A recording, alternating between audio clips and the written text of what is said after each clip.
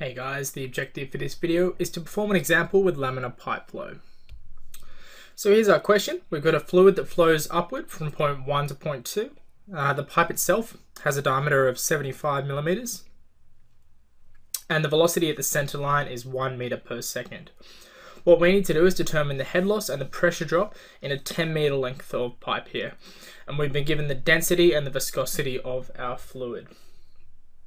So the first thing is we don't want to use that centerline velocity.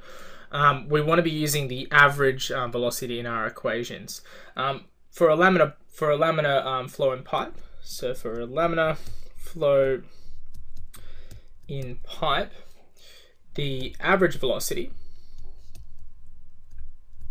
is going to be equal to half of the maximum velocity. So it's going to be half times 1, which is going to be 0.5 meters a second for our average velocity. Therefore, what we can do is apply um, Reynolds number. So Reynolds number is equal to rho v diameter over viscosity. So we're just going to sub in those values we had here, our diameter, which we know, and also now our average velocity. So 1260 multiplied by the velocity of 0.5 multiplied by 0.05 meters. So remembering